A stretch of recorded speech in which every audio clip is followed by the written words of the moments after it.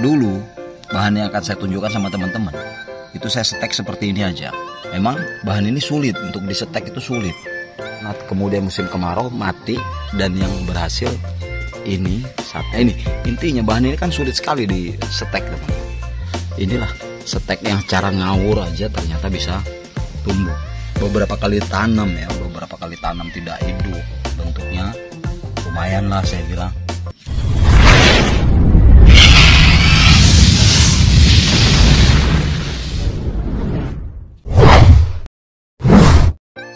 Oke baik sahabat bonsai Assalamualaikum warahmatullahi wabarakatuh. Salam bonsai, salam otak kanan Salam bagi sahabat.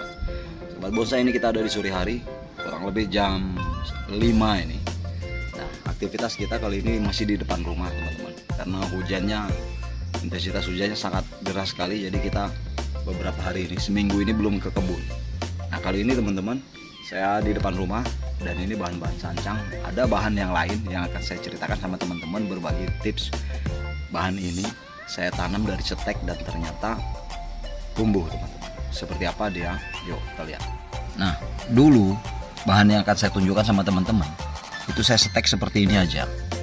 Ini di tanah yang saya campur sekam dan kotoran kambing. Saya seteknya hanya seperti ini ya saya tancap seperti ini.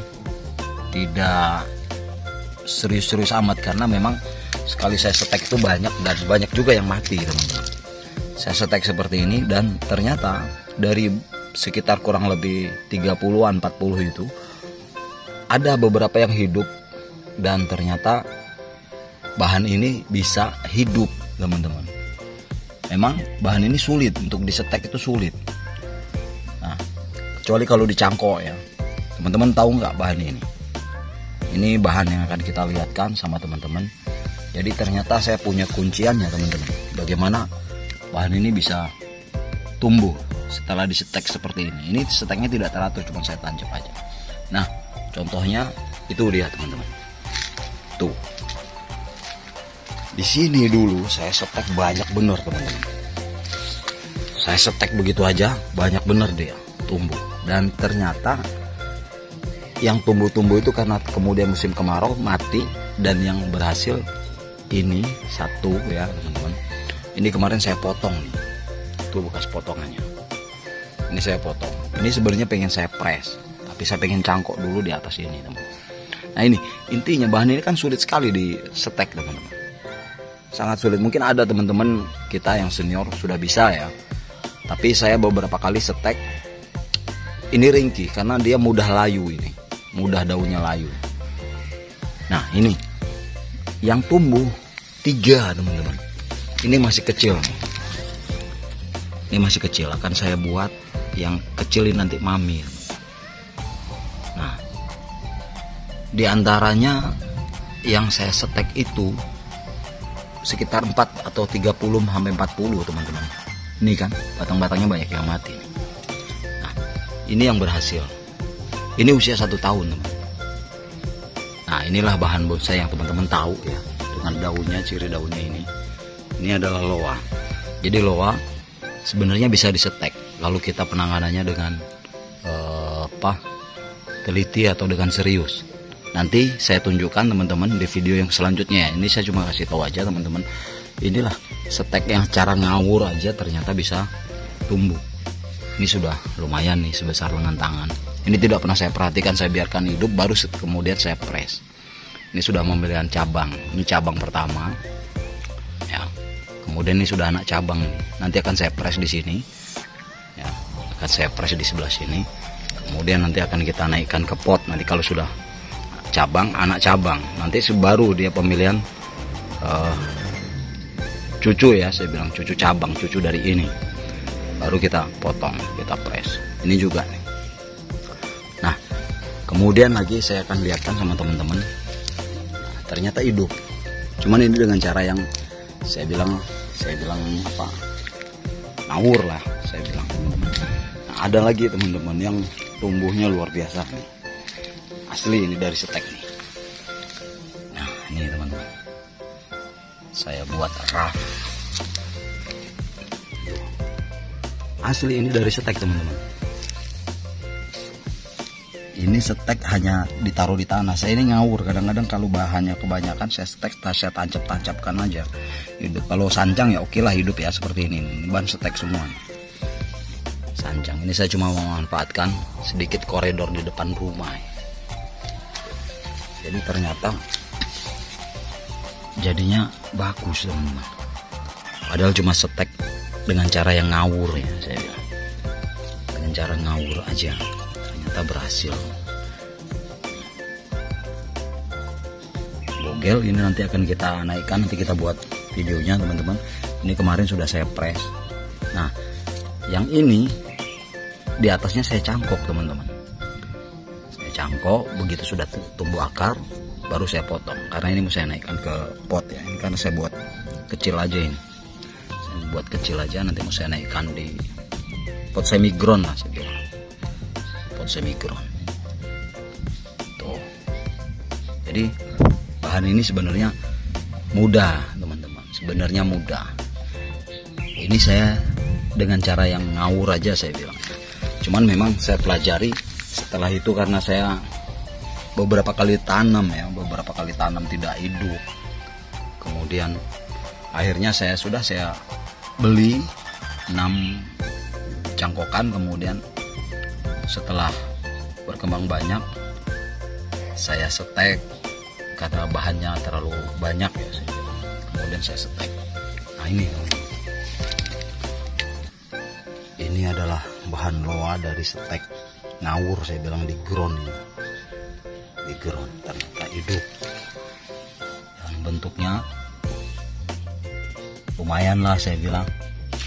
Kita buat terap lihat keliling teman-teman. Kalau sancang saya percaya di setek hidup saya percaya. Dan kali ini untuk yang kedua kalinya saya bilang saya percaya setek. Walaupun saya kemarin nyetek itu ya yang tadi baru kita di awal tadi membuka video ini tadi kita pakai stekan yang baru saya mulai. Jadi ini saya sudah pembelian cabang. Kemudian nanti saya akan pembelian anak cabang dan lain sebagainya.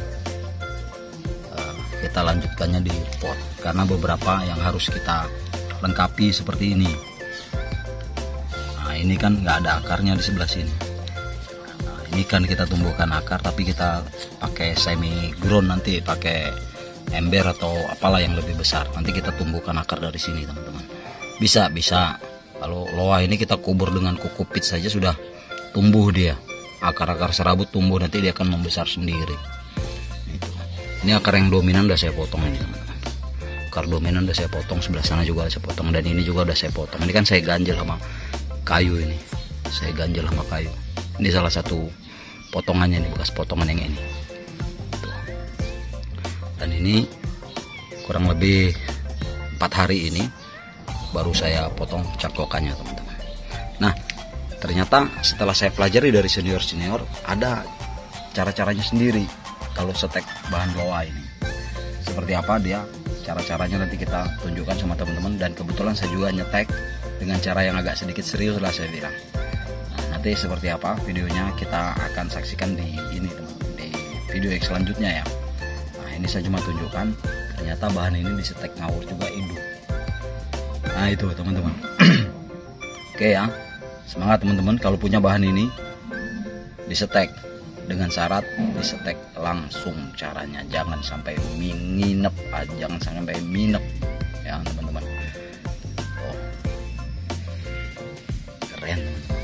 ini lingkar batang mungkin sekitar 30 ini. Besar ini sudah. Satu tahun ini teman-teman dari bahan setek bukan cangkok ya. Kalau cangkok bisa lebih besar apalagi kalau kita rawat. Ini hitungannya nggak saya rawat. Oh. luar biasa. Oke ini aja. Kalau dikasih bahan ini bisa tag teman-teman tapi segera dengan syarat segera.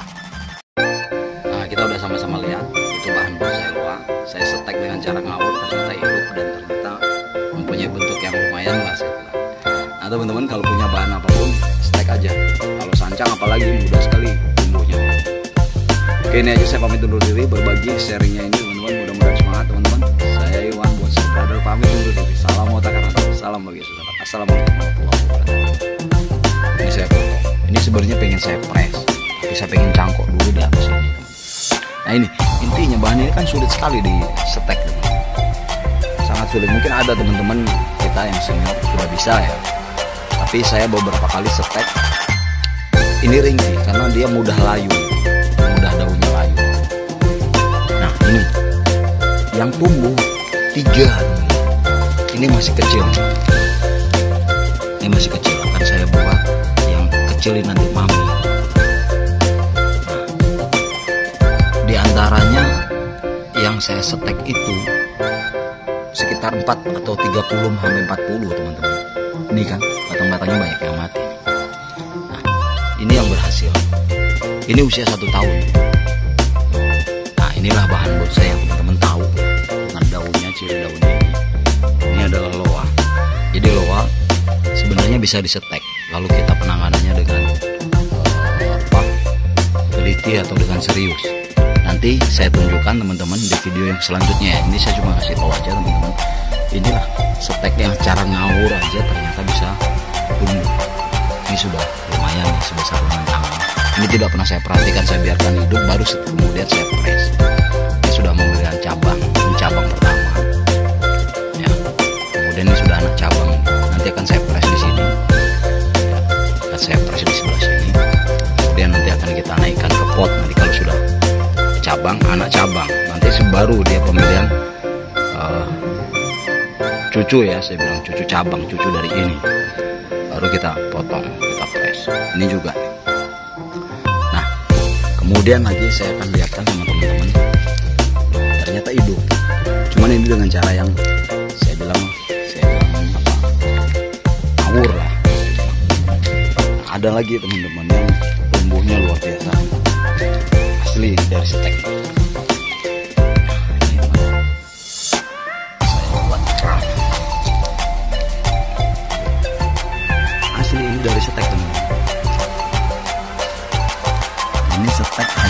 ditaruh di tangan saya ini ngawur